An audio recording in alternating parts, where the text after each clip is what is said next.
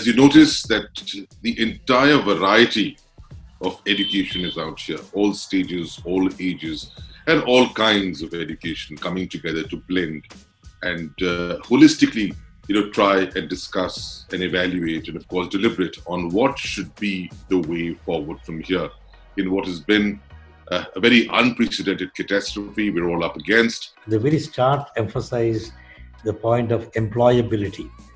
Are we create making employable people and good human beings who know how to live together in solidarity?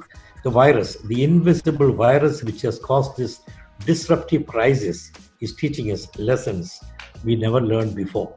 It is asking us to change our behavior, change our belief systems, look at people differently, look at the world. It's looking for an ecological conversion from our minds and hearts so that we can work together. Main um, goals today is to put the students on lifelong learning track. Um, so I don't think uh, formal education ever ends, and uh, even the nature of formal education is changing a lot.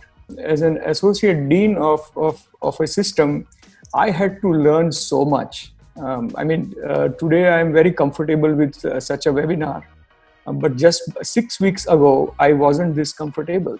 Post COVID, the entire learning system is going to change. We really don't know what jobs will be there. We don't know what kind of opportunities will be there. We, we know only that things are going to change. And what can we do? We have to unlearn, relearn, and then unlearn again and relearn. But the basic thing is that student has to digest the fact that they have to learn at a remote corner where the teacher's presence is not there. That is a very, very big void.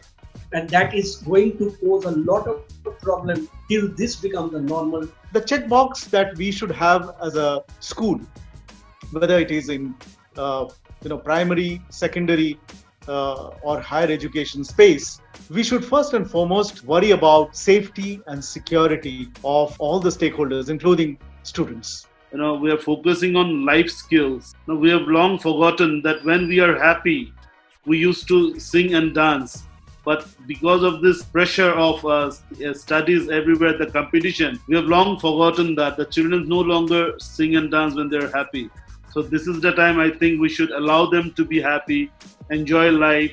But one thing I would like to say, our education system, uh, whatever we have now, uh, we have devalued because we are devaluing the moral and ethical and social values here. The teachers these days are quite tech savvy. I mean, it's not that, you know, they are very new, the use of computers and all. The students are also quite tech savvy these days. They're very smart. Our infrastructures, classroom, which contains 40 to 40, 45 boys, that is not good. We cannot uh, simply find uh, or we can maintain the social distance. So there will be a challenge like this. Blended learning is a fantastic idea.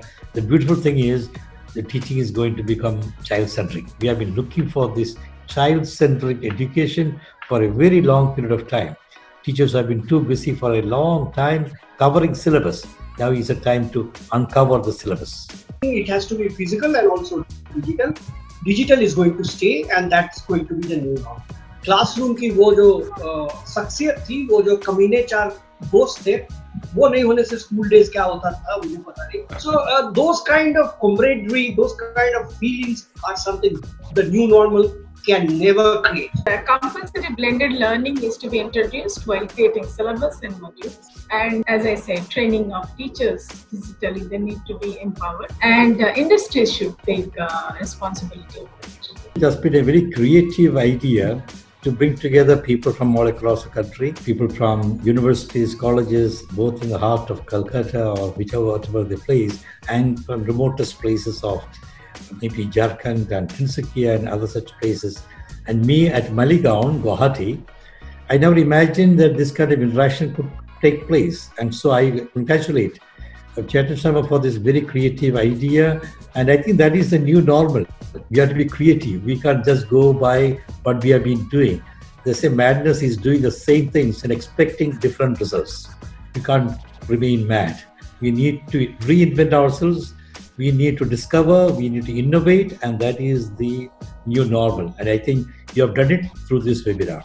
I like the mix of people put together, um, you know, from uh, length and breadth of the country, from say K-12 schools to higher education, and, and the group is very diverse. And I think uh, many interesting discussions happened, and everybody got the due time. So I'm thankful um, to Chetan and team for having me and um, I'm sure this has added value to all those who attend. It is something really interesting, and I I really appreciated the effort you have taken to bring people of same wavelength you know, into, into one platform and uh, be here and share that let's be creative, let's be collaborative. And let's be innovative. And that is something that I'll be taking from this seminar. Of course, the host was fantastic. The best part of this program lies in the name itself I think it was a very candid kind of uh, discussion. You know, in, in normal forums, we are very careful about what we are speaking because there are people who are sitting in front of you in the rows and looking at you. Whereas I think the confines of home give you the the cover uh, to speak your mind. But most importantly, the candid COVID classroom must go on, and I think that is the lesson that I am taking forward from this uh, webinar the new normal would be yes, yes, we, we have come out strong and we will be a winner as always. Again, uh, Mr. Chaitan is binding us uh, like bond, like Fevicol. And I'm very fond of him also uh, in his uh, anchoring and uh, throwing some intellectual words also. And uh, interaction with uh, the eminent personality, really it is a good platform for me also. when first television came in, seeing a cricket match from the confines of home, it was basically like that when you can really meet so many uh, augmented, ignited people uh, on the same platform. It's such kind of a learning in a very short while. Thank you very much. I, I really uh, enjoyed the entire session.